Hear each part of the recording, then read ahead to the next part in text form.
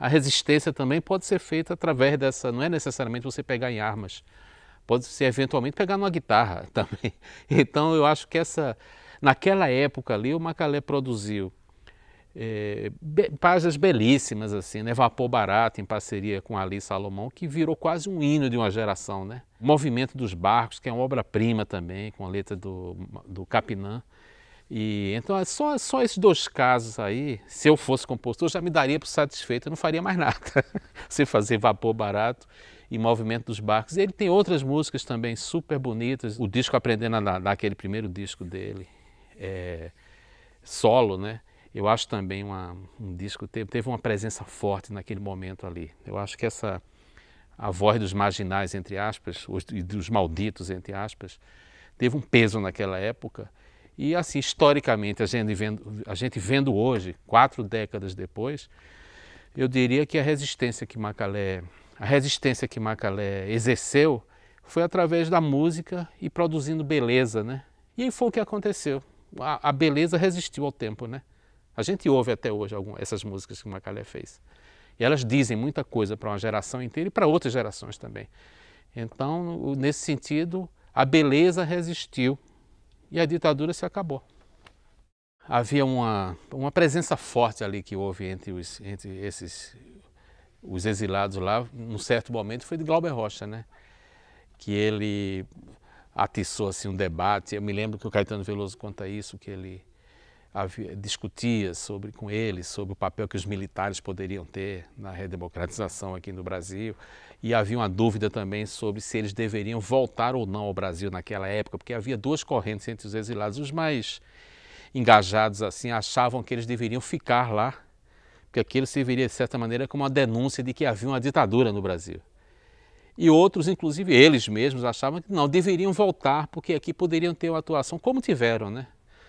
Assim que eles voltaram, imediatamente fizeram esses shows, um show histórico aqui no Rio, no, lá no Rio, com, no Teatro Municipal, que o Caetano Veloso e Gilberto Gil juntos, Macalé, Macalé toca também. Esse show foi gravado pela televisão e exibido na época. Então eu acho que eles preferiram é, voltar e tentar uma atuação no Brasil. E a gente deve lembrar que eles voltaram no auge da ditadura, que era em 1972, né, no início da ditadura, que é no início do ano de 72, e era em pleno governo Médici. Então era, realmente era um problema que se apresentava, se deveriam voltar ou não. Né?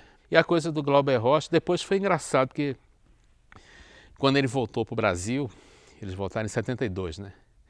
Macalé. E foi justamente logo depois o Glauber Rocha voltou provocou uma grande polêmica em 74, quando disse que Golbery, que era o chefe da Casa Civil do governo Gás, era o gênio da raça e que os militares tinham que ter uma participação no processo político brasileiro. Ele criou um choque na esquerda. E o Macalé teve uma identificação grande com, com Glauber Rocha. Ele conta também que o Glauber Rocha era aquela coisa explosiva, né?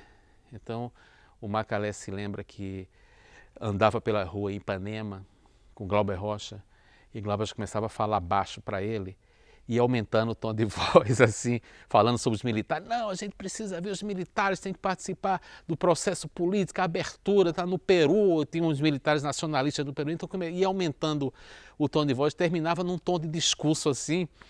Aí quando acabava tudo, virava pro, no, no vídeo de Macalé, no meio da rua dizia, olha, não diga que me viu para sua segurança pessoal. E ia embora. o Macalé ficava numa situação completamente surrealista, né? E depois Macalé teve uma, uma, encarnou assim uma situação glauberiana totalmente, né? Que ele disse que estava numa padaria ali no Leblon, no governo Figueiredo, que era o último general do ciclo dos generais, e o Figueiredo teve um infarto, né? Foi internado aqui no Hospital dos Servidores, lá no Rio. E o Macalé disse que está tá virado à noite, imagino que seis horas da manhã.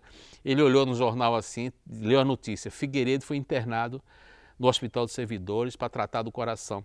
Aí ele deu uma de. Disse que baixou o espírito assim, meio de Glauber Rocha. Macalé falou: o Figueiredo não pode morrer, porque senão a abertura vai para o espaço. Eu preciso ir lá para o hospital para dar apoio a Figueiredo. Aí ele disse que virou. Tinha um bêbado de lado lá no, na padaria, com a camisa do Flamengo, um bêbado. Falou: não, vamos lá, vamos lá no hospital. Então foram os dois, pegaram um táxi, foram para o Hospital dos Servidores e saíram nos jornais da época. Obviamente, Macalé foi preso, né, quando chegou lá. Porque ele disse que quando chegou no hospital, tinha uns agentes de segurança lá, e os agentes barraram assim. Ele, ele falou: tira a mão da minha frente, eu é que pago o seu salário, eu sou um cidadão brasileiro, não sei o que e tal. Aí precisa, o Figueiredo não pode morrer e tal. E naquela época, o Macalé era casado com a filha do presidente da Arena, que era o partido do governo, né, Francilino Pereira. Surpreendentemente assim. Aí ele disse que quando viu um carro oficial preto passando com um vulto assim no banco traseiro, o Macalé pensou que era o Francilino Pereira, então ficou gritando, Francilino, os caras pensaram que ele estava pirando, botaram dentro do carro e levaram preso para a Polícia Federal. Ele prestou depoimento lá e tal. Mas teve essa iluminação assim, meio glauberiana, entendeu? De chegar dizer, vamos salvar o Brasil e tal. Isso eu acho interessante. E depois, inclusive, ele teve uma audiência com o general Goberi, né?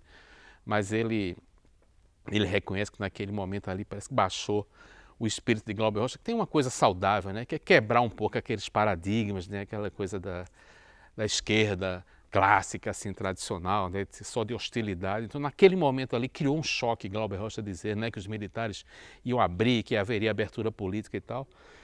E o engraçado é que, historicamente, ele estava certo, terminou acontecendo, né? aconteceu aquilo ali, abertura. Então, às vezes a política não é tão linear como a gente pode imaginar, né?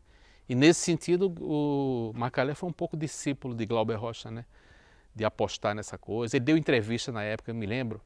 Macalé também foi muito pichado, porque deu entrevista nas páginas amarelas da Veja, também puxando um pouco a orelha da esquerda, né? Nesse sentido, dizer, eu acho que foi até uma coisa meio antecipatória, assim, de você além de fazer a denúncia da, dos horrores que aconteciam, você também tentar fazer uma autocrítica né, da, da, própria atuação da esquerda e tal, que é uma coisa bem.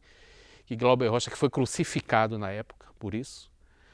E eu acho interessante Macalé ter feito coro né, com Glauber Rocha, em fazer, em chamar a atenção para coisas que de outra maneira poderiam passar em brancas nuvens.